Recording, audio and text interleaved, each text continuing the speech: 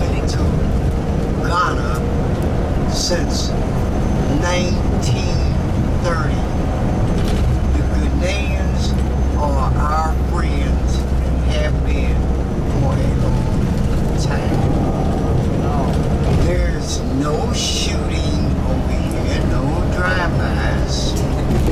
There are no shootings at the clubs. There are no robberies over here.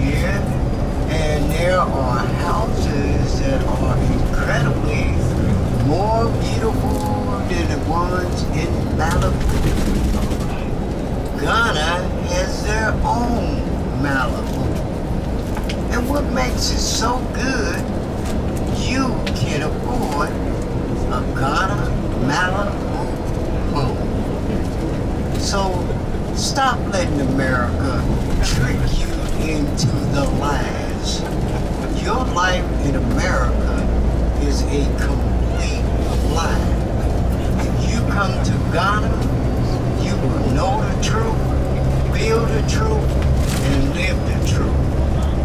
I am here because I want to know the truth. My name is Truth Seeker on Facebook. And when you see me, I will continue to tell you the truth. And I will tell you many truths about Ghana and Africa. Do not believe that this is a place that you should be afraid to come to. This is a brainwash.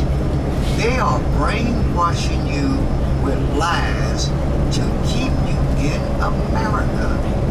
They do not want you to connect with your African brothers and sisters. And I am speaking to all African Americans from Canada all the way down to the end of South America. We are all brothers and sisters, and we need to come